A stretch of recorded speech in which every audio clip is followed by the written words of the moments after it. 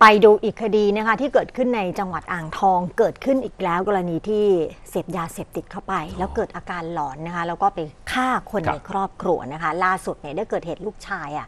อายุ 47 ปีแล้วนะคะใช้มีดนั่นแหละค่ะแทงคุณแม่วัย 81 ปีเสียชีวิตคาบ้านค่ะ สาเหตุเพราะว่าขอเงินไปซื้อยาเสพติด แล้วทีเนี้ยแม่ไม่ให้นะคะ ก็เลยใช้มีดนั่นแหละ แทงแม่ของตัวเองก่อนที่จะหลบหนีไป หลังก่อเหตุค่ะ แทนที่เจ้าตัวเนี่ยจะสลดนะคะ แต่ว่ากลับไปเดินเที่ยวอยู่กลางตลาดจนกระทั่งถูกตำรวจเนี่ยตามจับกลุ่มตัวได้แล้วค่ะ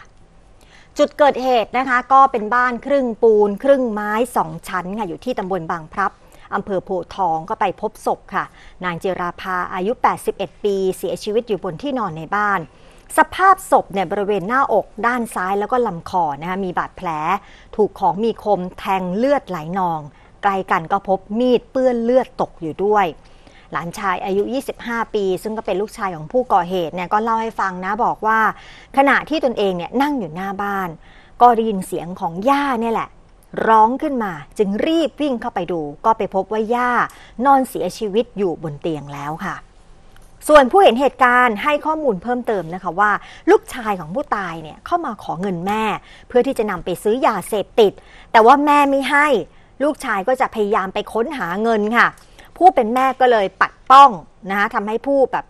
ไม่ยอมให้เงินเอาแบบนี้ก็แล้วกันครับนะทำให้ผู้ก่อเหตุเนี่ยใช้มีดแทงไปที่แม่ของตนเองจนเสียชีวิต ก่อนที่จะขี่รถจักรยานยนต์ แล้วก็หลบหนีหายไปนะคะ หลังได้รับแจ้งเหตุเนี่ยเจ้าหน้าที่ก็มีการวิทยุสื่อสารบอกรูปพันธ์สันฐานคนก่อเหตุ และรถจักรยานยนต์ที่ใช้หลบหนี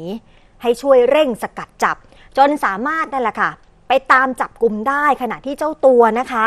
กำลังเดินเที่ยวอยู่เลยค่ะ อยู่ที่งานนะคะ โคมไฟกวนอู กลางตลาดอ่างทองเรียกได้ว่าก่อเหตุแล้วยังไม่สลดเลย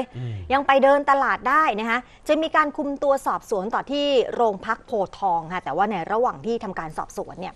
ผู้ก่อเหตุก็มีลักษณะพูดจาวกไปวนมาไม่รู้เรื่องนะคะตำรวจจึงนำตัวเข้าห้องคุมขังเอาไว้ก่อน แล้วก็ค่อยทำการสอบสวนใหม่ในวันนี้ค่ะอะ